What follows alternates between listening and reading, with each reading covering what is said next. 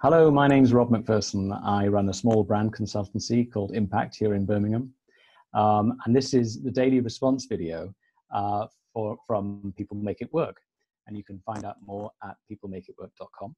I'm going to be talking to Zara a little bit about uh, some ideas coming out of the current crisis, about ways in which you can use your brand to perhaps galvanize your teams, um, speak a bit more confidently about your purpose, and uh, hopefully help you come up with some new, maybe lateral ideas to improve your impact uh, in your planning over the next few months.